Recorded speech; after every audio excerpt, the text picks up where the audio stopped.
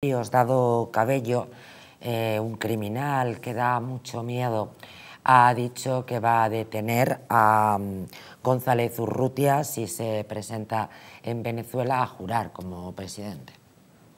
Y él ha dicho que iba a ir a, estos últimos días, ha dicho que tenía intención de ir a, a Venezuela. ¿no? Yo la verdad es que después de la reacción que tuvo eh, este, este señor, dudo mucho que se vaya a arriesgar, porque si recordemos todos que fue a principios de este año esa reunión en, la embajada y bueno, pues cómo le presionaron y al final decidió marcharse, en fin, porque le amenazaron con su familia.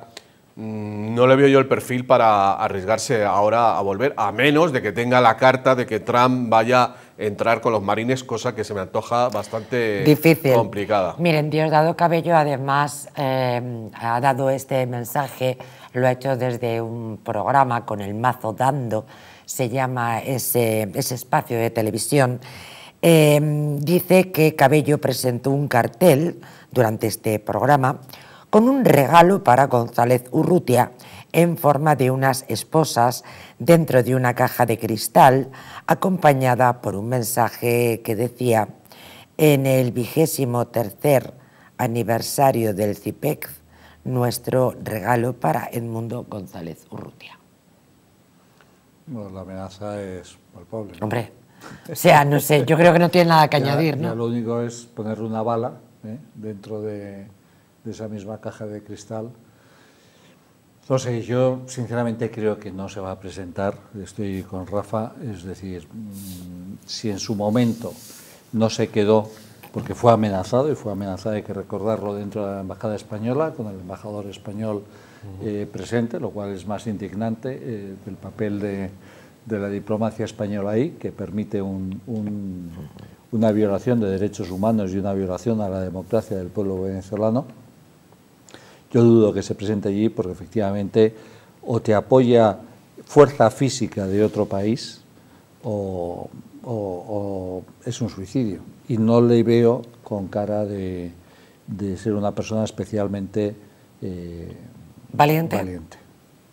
eso es un tema de cara, es un tema de actitud. Es decir, al final, eh, si, el, pueblo venezolano se moviliza, ¿no? porque bueno, hay manifestaciones, tal, no sé qué, pero al final había convocado una manifestación este domingo, como dice mi amigo Roberto, si es que para derrocar un régimen, lamentablemente, lo que, lo que suele funcionar... Es el ejército. Mm, son las armas. Y entonces, ¿quién tiene las armas?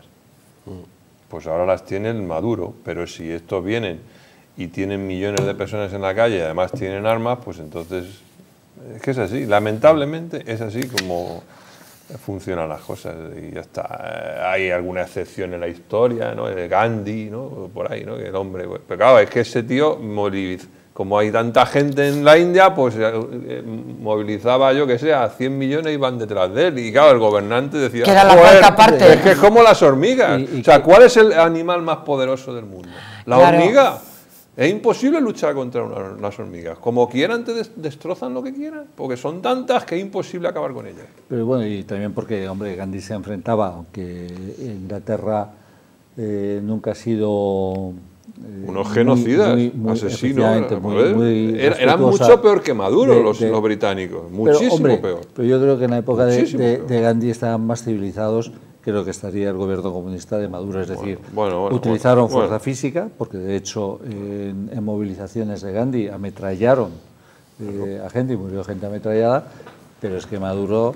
Eh, vamos, que no, Juan, que no, no, Juan, que, no comparemos, que, los británicos eran muchísimo más sanguinarios y peores que este tío. O sea, no es un tema de comunismo, ¿no? Es un, o sea, ellos fueron